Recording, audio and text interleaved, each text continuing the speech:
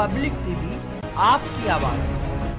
Cycle के वितरण कार्यक्रम में हम का कार्यक्रम रखा गया, जिसमें सर मैं यहाँ बताना चाहूँगा कि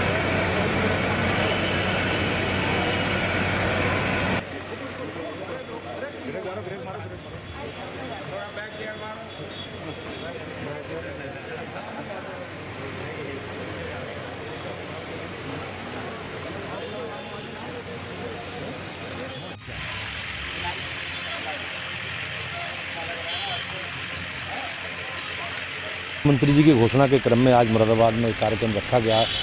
समाज कल्याण और दिव्यांगजन सशक्तिकरण विभाग की ओर से।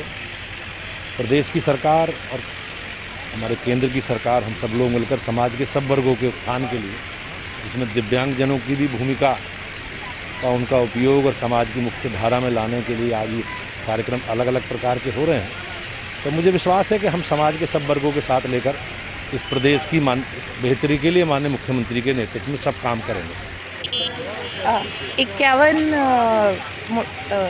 मोटराइज साइकिल्स का वितरण किया गया है। इनकी परचेजिंग तो 31 मार्च तक हो गई थी, लेकिन आचार संहिता के चलते वितरण आज किया जा रहा है।